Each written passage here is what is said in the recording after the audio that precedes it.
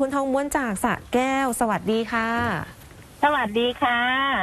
ค่ะ สอบถามเรื่องที่ดินทำกิน มันไปติดแนวเขตสนามบินเหรอคะจ้า ของคุณทองม้วนนี่อยู่ในพื้นที่ไหนคะของอยู่อำเภอป่าไร่ค่ะ หมู่หนึ่งตำบลป่าไร่อำเภออรันจังหวัดสระแก้วจ้า เป็นที่โฉนดหรือที่เอกสารอะไรครับ ที่ตรงนี้มันจะมีสคหนึ่งและนสสามจากข้างเคียงเราเขาเป็นโฉนดหมดแล้วค่ะ ที่ที่ที่ที่แปลงที่เป็นปัญหาเนี่ยที่สคหนึ่งหรือนสสามครับ ทั้งนสสามทั้งสคหนึ่งค่ะ ที่มันไปติดอะไรครับ ที่นี้เขาเขาอ้างว่าเป็นนสลนสลที่ค่ะหลวงนะจ้ะโอเค แล้วค่ะแล้วพี่ทองม้วนจะไปทำอะไรกับที่ของเราครับ ไปออกโฉนดเหรอคือเจ้าของที่ทุกคนก็เดือดร้อนมานานแล้วค่ะ เบื้องต้นเลยสคหนึ่งไปออกโฉนดตั้งแต่สามสามอกนี้ไปหาไปหาผู้ว่าจังหวัดปราจีนแต่ก่อนเป็นจังหวัดปราจีน อืม ทีนี้ท่านผู้ว่าก็ให้นำสคหนึ่งไปดูตรวจสอบ เสร็จแล้วท่านก็ให้เอาออก ให้ให้ให้เอามาออกโฉนดที่จังหวัดสระแก้ว จังหวัดสระแก้วก็ออกโฉนดลงรางวัดตรวจสอบข้างเคียงเซ็นเรียบร้อยหมดแล้วค่ะ อืม เอ่อเซ็นเรียบร้อยหมดแล้ว พร้อมจะแจกติดประกาศเรียบร้อย ทีนี้มีทหารราชพัสดุไปคัดค้านว่าที่ของชาวบ้านที่ไปออกโฉนดเนี่ยว่าอยู่ในนสลอยู่ในนสลให้ตรวจสอบเขาก็ไม่ยอมตรวจสอบว่าแนวเขตอยู่ตรงไหนชัดเจน ทีนี้ทางพวกเราก็มาติดตรงนี้แหละค่ะ ติดตั้งแต่ปีนั้นมา สามแปดสามเก้าตั้งแต่ปีนั้นมาจนถึงปัจจุบันแต่ทีนี้ว่าเขาเขาจะมาปักแนวเขต เมื่อเมื่อไวๆนี้แหละค่ะ ปักแนวเขต ทีนี้แล้วเจ้าเข้าขมาองแล้วที่แล้วเขาเขาแล้วแล้วเข้ามาที่ดินของเราอ่าโอเคเราก็ค้านมั่งทีนี้ใช่ไหมอ่าอ่าเราไปออกโฉนดเขาค้านพอเขาจะมาปักแนวเขตเราค้านบ้างใช่เปล่า จ่าจ่าเราก็ปกป้องที่ของสิทธิ์ของเรา ดีค่ะ ดีพี่ทำถูกแล้ว อืมจ่าพี่ทำถูกแล้วมาปักนี่ไปโน่นฟ้องศาลปกครองเลย ค่ะ ฟ้องศาลแพ่งเลย นี่ฟ้องศาลแพ่งนะครับพิสูจน์ว่าเป็นที่ดินของเราฟ้องไปสู้กันให้ศาลตัดสินโน่นน่ะอืม อ่าเออ แล้วจะจะให้ฟ้องอีกเหรอคะ ก็ต้องฟ้องพี่ คือมันมันคือตอนเนี้ยปัญหาก็คือเกิดข้อพิพาทเกิดขึ้น ระหว่างระหว่างที่รัฐเจ้าหน้าที่รัฐมาคัดค้านว่าเป็นที่นสลค่ะเราเราก็บอกว่าเป็นที่ของเรา ไม่รู้ว่าใครทับใครกันไม่รู้แหละ อันนี้ผมก็ต้องคืออย่างนี้อ่าผมจะผมจะเชื่อพี่ก็ไม่ได้ ผมก็ต้องฟังอ่าทางโน้นฟังโน้นทางไม่ได้คุย เอาว่าไม่รู้อ่าที่ใคร แต่อ่าถ้าไม่รู้ที่ใครแล้วจะพิสูจน์กันว่าแล้วที่ของใครของใครมันอยู่ถึงไหน มันอันนี้มันทับทั้งแปลงหรือทับบางส่วนครับเขาจะทับมา แต่ที่ของดิฉันทับทั้งแปลงทับบางทั้งแปลแปงลงก็เป็นบางส่วน อ่าถ้าอย่างนั้นแต่เนี่ย เดี๋ยวเดี๋ยวนะคะ เดี๋ยวนะคะอืมคุณคือว่า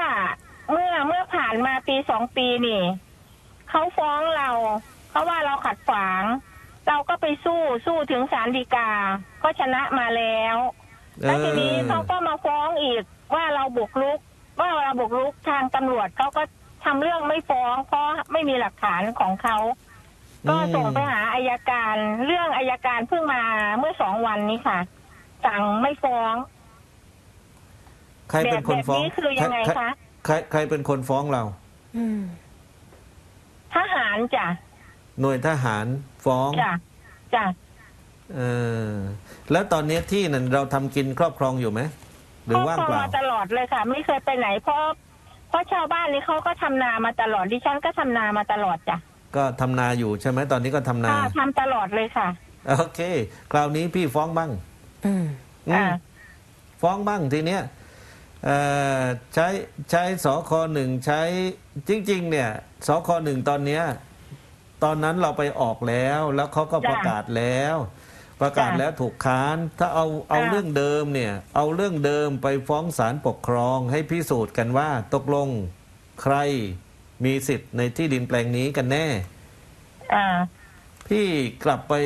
จริงๆนะพี่ต้องใช้สิทธิ์ทางศาลปกครองแล้วล่ะถ้างั้นเรื่องเนี้ยเพราะว่าอ่าเขาประกาศแล้วด้วยตอนนั้นนะที่ไปประกาศแล้วต่อมา พอประกาศปั๊บระหว่างที่ประกาศเขาก็ไปค้านประกาศใช่ไหมอ่าพอค้านประกาศปั๊บเราก็ควรจะต้องยืนยันกับว่าต้องออกให้เราเมื่อเจ้าพนักงานที่ดินออกให้ไม่ได้ เราก็ต้องเอาข้อคัดค้านเนี้ยไปฟ้องต่อศาลปกครองให้ศาลปกครองตัดสินนะไปสู้กันอีกว่าอ่า ตกลงใครมีกรรมสิทธิ์กันแน่อืมอ่านั่นั่นแหละมันจะได้จบใช่ครับ จะได้จบต้องเอาเรื่องเดิมของพี่แหละมามาฟ้องต่อศาลปกครอง อย่างนี้พี่เอ่อพี่เอ่อพี่ปรึกษาศาลปกครองก่อน พี่จดเบอร์โทรศัพท์ก่อนอ๋อจดจดเบเบออร์ร์ก่โทอนรศัพท์ก่อน ใช่เดี๋ยวใช่เดี๋ยวนะคะเพราะว่าเดี๋ยวรู้สึกว่าเรื่องยาวนานมากอืมนะพี่ยาวนานธอะได้ได้ค่ะ ค่ะ หนึ่งสาหนึ่งสามห้าห้าหค่ะนึ่งสามห้าห้าครับ หนึ่งเบอร์สายด่วน หนึ่งสามห้าห้าใช่ ประเด็นของพี่ตั้งโจทย์อย่างนี้นะ ก็คือว่าเราเคยไปขอออกรังวัดโฉนด ออกโฉนดที่ดินใช้สคหนึ่งใช้นสสามที่เรามี แล้วเจ้าพนักงานที่ดินก็ก็รับรังวัดเราเสร็จเรียบร้อยแล้ว เก็บข้อเก็บเก็บหลักฐานไว้ไหมมีค่ะมีค่ะ ดีหลักเก็บฐานหลักมีฐานหมดไว้เลยค่ะ เก็บหลักฐานไว้ว่าว่าเราไปทำการรังวัด แล้วก็เสียค่ารังวัดเจ้าหน้าที่ก็ได้ออกได้ออกประกาศแล้ว แล้วก็มีเจ้าหน้าที่ของรัฐมาคัดค้าน เมื่อมาจ้ะคัดค้านเนี่ยจึงออกโฉนดให้เราไม่ได้ เมื่อออกให้เราจ้ะไม่ได้เราก็เลยจะมาใช้สิทธิทางศาลปกครอง ให้ศาลปกครองจ้ะไต่สวนเรื่องนี้ นะครับจ้ะก็เชิญใครเชิญตั้งแต่เจ้าพนักงานที่ดินเชิญทั้งหน่วยทหารไปชี้แจงกันที่ในศาลโน่นน่ะเออเออว่าตกลงมันยังไงกันแน่ค่ะเพราะงั้นเออเออเบื้องต้นก่อนที่พี่จะใช้สิทธิ์ตรงเนี้ยพี่โทรไปปรึกษาทางศาลปกครองก่อน 1355 โทรไปเลยจ้ะจ้ะแล้วเขาจะแนะนำให้ และการฟ้องอ๋อศาลปกครองก็ไม่ยุ่งยากไม่ต้องมีทนายก็ได้มีก็ได้ แล้วเข้าชื่อกันอ่าผู้เสียหายกี่คนอืมเข้าชื่อเออเป็นหางว่าวกันในคำสำนวนฟ้องเดียวกันก็ได้ครับเออเออเออเออโอเคไหมเพื่อจะได้พิสูจน์กันอีกทีหนึ่ง เพราะว่าจ้ะที่เขาจ้ะฟ้องพี่น่ะอายการก็สั่งไม่ฟ้องมาแล้ว ใช่แล้วสู้กันค่ะถึงฎีกาพี่ก็ชนะมาแล้ว อืม จ้ะเพราะฉะนั้นเราก็ต้องเอาเรื่องของเราเดิมนี่แหละนะครับเจ้าพนักงานที่ดินไม่จ้ะกล้าออกให้ละครับ เพราะงั้นเออเราก็ต้องใช้สิทธิ์ให้ศาลปกครองเป็นคนไต่สวนเรื่องนี้อีกทีหนึ่ง อ๋ออ๋ออ๋ออ๋อคิดใช่คคิรัดบ ว่าคิดว่า หน่วยงานของสำนักข่าวจะลงมาพื้นที่มาดูให้อย่างนั้น โอ้ยโอ้ยโอ้ยถ้าไม่ไปใช่บ้านใช่ไหมพี่คะแล้วเรื่องอื่นก็ไม่ต้องทำอะไรแล้วอ๋อไม่ต้องไป ไม่ต้องไป ไม่ต้องไปเออแนะนำให้พี่ไปทำเองนะอืมเออเออเออใช่เดี๋ยวเดี๋ยวเดี๋ยวคุณคือมันจะมีอีกประเด็นหนึ่งคือเจ้าหน้าที่ เจ้าหน้าที่ทหารเนี่ยราชพัสดุที่ดินสามหน่วยงานเนี่ย ทีนี้เขามาปีสี่สี่